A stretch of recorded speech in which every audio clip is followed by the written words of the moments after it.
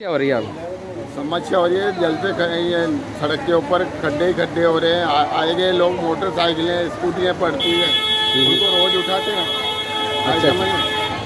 कितने दिन से समस्या हो रही है?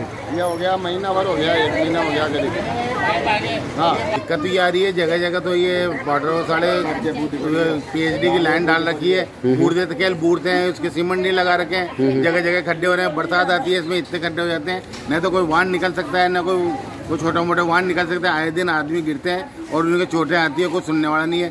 कितनी बार जाकर उनको अवगत करा दिया लेकिन कोई परवाह नहीं करते वो। कितने समय से ये टूटी कि, कितने समय से टूटी फूटी पड़ी करीबन दो महीने ऊपर हो गए। दो महीने से हो गए। आपने अधिकारी को अवगत कराया? अधिकारी को कितनी बार अवगत करा दिया? विनोद कुमार हमारे जो वार्ड पार्षद का कार्यकर्ता है उसने अवगत कराया। कितनी बार कह के पंद्रह दिन लगेंगे कि दस दिन लगेंगे ऐसे टालम टोल टालम टोल टालम टोल की नीति अपना रखे हैं और काम करते नहीं है कुछ भी। ठीक है आपका नाम? नाम आपका? गोवर्धन प्रसाद।